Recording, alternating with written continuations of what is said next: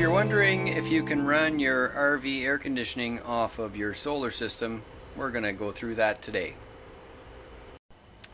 Our unit is a Royal Classic. It is a 24.0 floor plan and it's a 1999 on a Ford E350 chassis. Up on the roof we've got just over a thousand watts of solar. It's a thousand and sixty I think the way the math goes. So we consistently get uh, over 800 watts with the situation that we have here and our northern latitude. Our split AC unit is a Senville unit and it runs a surprisingly low amount of power. We'll go ahead in and take a look.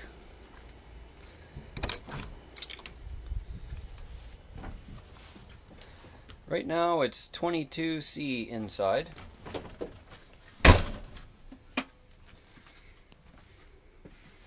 And you'll notice that we do not have an AC unit on the roof. We switched that out for a fan cover. And our head unit for the split AC is mounted up in the front on the wall uh, just forward of the door. Now we have all of our electrical controls over here on this wall and we're going to take a look at that. So our AC of course is running and you'll see on the consumption meter that there's really nothing coming in or going out. It's basically zero. And our charge controller is putting out 24.5 amps, 25 amps right now. And the battery's full. Our full capacity on this consumption meter is actually 500. Um, I just set it for 500 because it's easier to remember. And so we're down to, it's about 20 low. Now we're charging, uh, we're charging a whole bunch. And the charger's putting out 34 and a half amps out of a maximum of 60 which will easily consume about 800 watts from our solar. Uh, that's just changing depending on what clouds are going by at the time. And so we're basically not consuming or charging anything for the most part while the AC is running. But the battery is still completely full. Uh, this is our inverter switch. And we also have a solar charge controller source switch right here. In order to kind of make the AC a little more efficient, because the blower here, it actually blows across the unit. So to get all that air back to the bedroom area down the hallway, we're using these two little USB fans. They're just running on low power and uh, they consume not much of anything. They're plugged into a USB power charger there, although they also run on batteries. These are 6 inch OPOLAR fans that we got from Amazon, and they are my favorite. As you saw when we came into the unit, the thermometer here is running at 22.5 C. It's uh, 32 C outside right now. And we have the actual um, control for the AC set to 24C. So I think up at this height it's probably a little bit warmer and the temperature control is not here anyways. There is a follow me button on this that you can use so that the temperature in this unit will control the system. But we're not using that. We're actually using the temperature that is being measured right inside the head unit. So that's how that's going, and it works out to around a 22C, 23C uh, living space here in the unit. So it's very, very comfortable. Uh, it's very quiet, as you can tell. It's very quiet in here. There's no extra noise. We don't have a roof AC, so it's not rattling around. And uh, let's take a look at the rest of the electrical components. So this is our kitchen area. Uh, I did take out the useless little double sink that was here and put in a massive, super deep um, residential sink. And underneath in this cabinet, where you may have a garbage can or something, uh, we now have four of these Valence 138 amp hour batteries.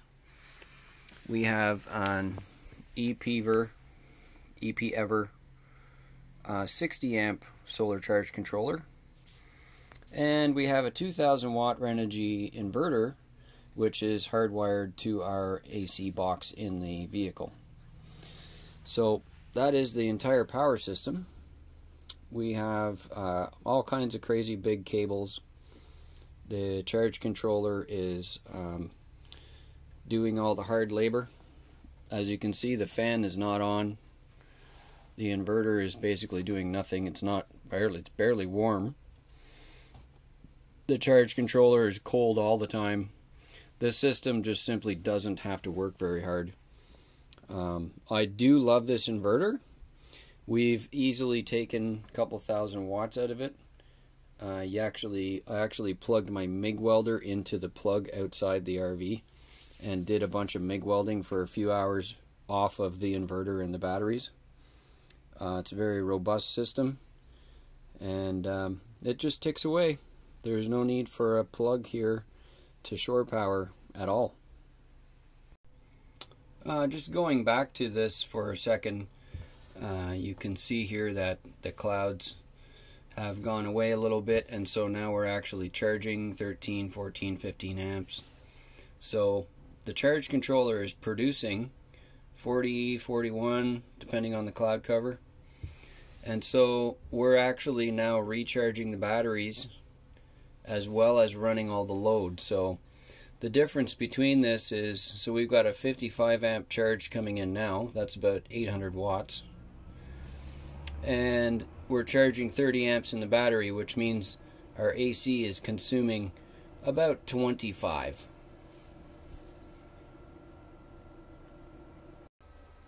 So on a full sun day, we would easily produce enough to regenerate the battery usage that the AC would consume overnight. Now, it's running right now at around 25 amps and that's just to maintain the cold level that we have set in the unit so far. You obviously, when the temperature goes down, when it's not 90 degrees outside or 32 C, uh, when the sun is not beating on the camper, the solar disappears, but also so does the heat load. So we end up running the AC uh, to keep the temperature down in the RV until about an hour and a half after sunset.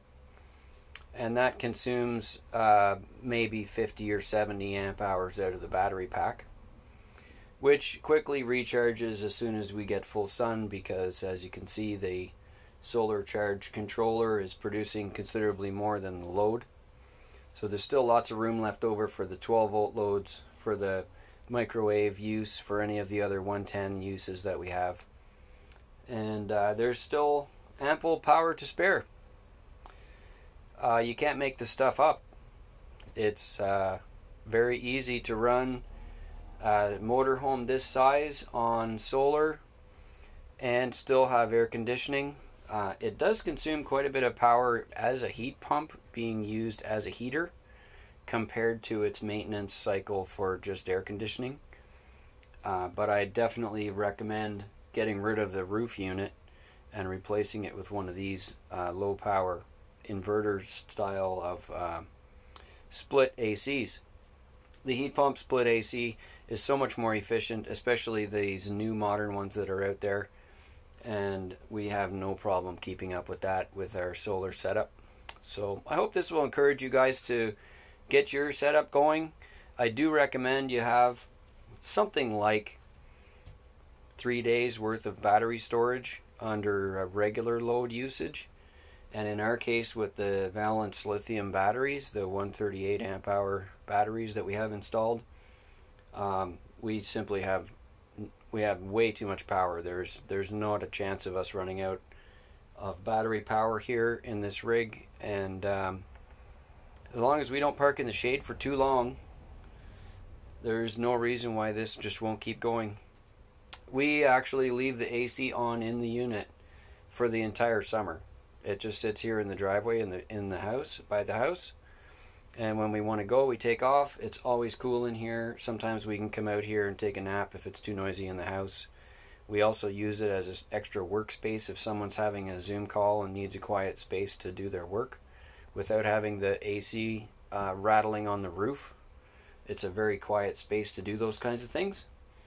And uh, if you have any questions, feel free to put them in the video comments, and I'll be sure to share with you all the info I can.